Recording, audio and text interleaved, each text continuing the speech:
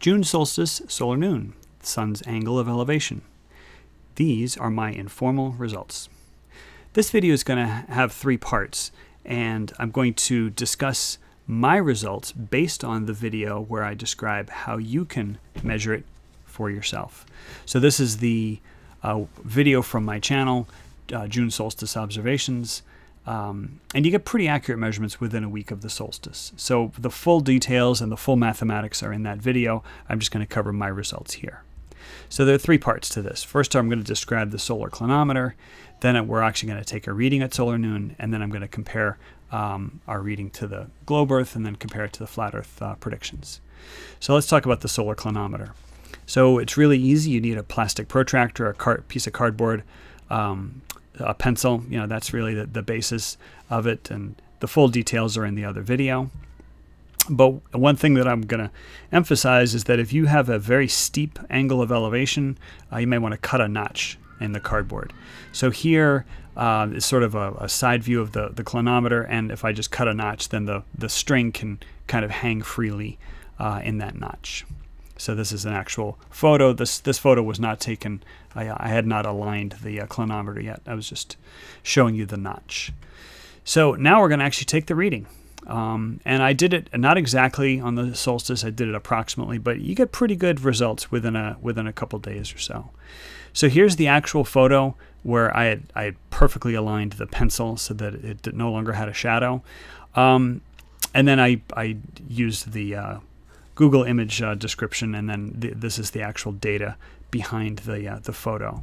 So you'll notice that this is actually not not exactly on the solstice. It's actually three days past, and it wasn't exactly at solar noon. It was actually two minutes past. Um, so I ran the numbers, and it turns out that if you compare what would have what would have happened exactly on solar noon versus uh, two minutes after solar noon a couple days later, uh, the difference is about four hundredths of a degree. So not a not a huge difference. So I, I'm I'm going to just go with this photo. So let's examine this photo. Um, and I would like you to try to figure out what the protractor reading is.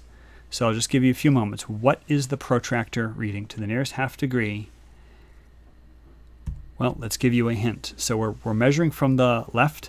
So it's 15, 16, 17 degrees, and we're a little bit uh, you know, pretty close to the halfway of 16 and 17. I would say a little bit more than halfway, but you know, this isn't this isn't exact. It was actually a piece of dental floss, and um, so I'm going to say it's uh, 16.5 degrees on my protractor. Now, to get the angle of elevation, you simply subtract that from 90. So my angle of elevation was 73.5 degrees. Now we're going to compare our reading to the uh, predictions based on the globe Earth versus the flat Earth. Um, first thing I'm going to do is I'm going to find out my uh, my latitude. Now, if you don't know your exact latitude, uh, you can go into Google Maps and you can click on a location. So when you click, it actually places a little gray uh, placeholder, and at the bottom of the screen, it actually shows your latitude and longitude. So I'm going to say approximately 40.1 degrees north. Or you can actually use a website such as latlong.net, and they also they also show it in degrees. Um, uh, I'm sorry, in a decimal in a decimal format. So they, they actually show 40.1 uh, something as well, but they also give it to you in degrees, minutes, and seconds. So if you know your latitude in degrees, minutes, and seconds, you can actually use that as well. So I'm just going to go with uh, 47, 17. 40 degrees, 7 minutes, 17 seconds, north latitude. So again, just to remind you, in the globe Earth model, uh, the North Pole is tilted towards the Sun at 23.4 degrees. So that's going to change our angle of elevation of the Sun to be 23.4 degrees northward from whatever the reading was going to be on the equinox.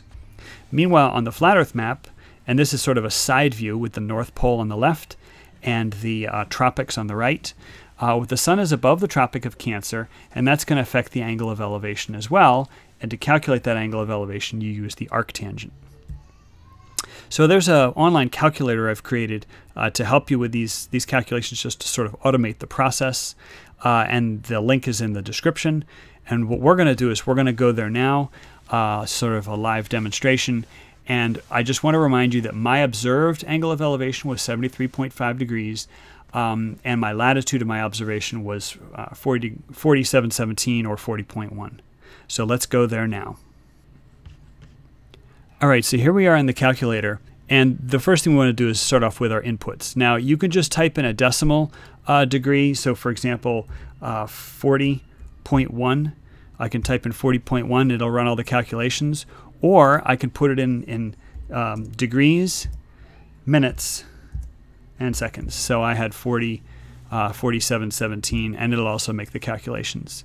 So if we now scroll down, there's a couple of intermediate calculations. If we scroll down, we see what the predicted angle of elevation is for solar noon, um, and there's a difference between the globe Earth and the flat Earth.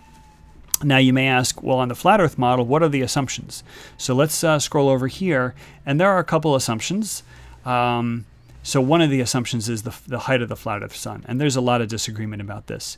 So if you uh, consult um, Rowbotham, he says it's uh, approximately 700 miles in elevation, so you can actually change that uh, that assumption. Uh, if you talk to Winship or to uh, Voliva, I believe they said the uh, estimate of the uh, the sun was at 3,200 miles, so you can type that in. Uh, I like to use 3,000 miles. It's a nice round number. I sort of rounded 3,200. Um, but you know you can play around. You can play around with the number. Now going back to the uh, prediction, uh, you can actually reverse engineer what the height of the flat Earth sun should be. So based on your um, your globe, uh, you know the globe prediction, you could say, all right, well the, the flat Earth sun is 3844. So let's type in 3844, and then so now it'll recalculate everything. Anyway, you could just have some fun have some fun with the with the spreadsheet. And again, the link is in the description. So my channel is full of uh, do-it-yourself explorations and experiments, and uh, the key here is you know gathering your own gathering your own data, making your own careful observations. Um, there's a lot of uh, lot of videos online that are basically telling you what to think, and I really won't tell you what to think. Uh, I, I, will tell you how to build the tools and how to make the uh, the measurements yourself, uh, and you're welcome to ignore the analysis portion.